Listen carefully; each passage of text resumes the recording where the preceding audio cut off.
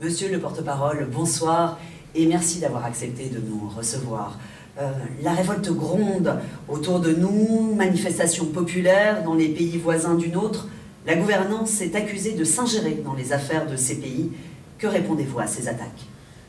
Mais qu'est-ce que l'ingérence, madame? Ces révoltes sont l'expression d'un désir de liberté que nous comprenons, vraiment. Toute intervention s'appuyant sur les revendications des peuples ne peut être considérée comme de l'ingérence. Si nos valeurs se croisent, nous considérons que c'est un devoir d'intervenir. Non pas derrière les peuples, mais avec les peuples. Et ce, même si la demande n'a pas été clairement explicitée.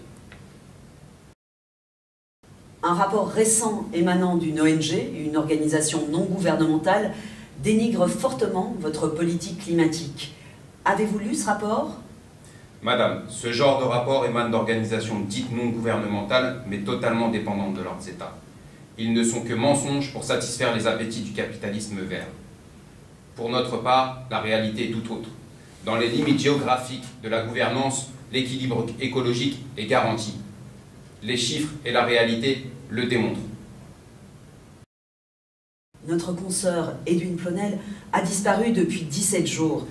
Les rumeurs courent, euh, la gouvernance la séquestrerait. Qu'en est-il, monsieur le porte-parole? Écoutez, madame, en tant que journaliste, avez-vous vérifié ces allégations?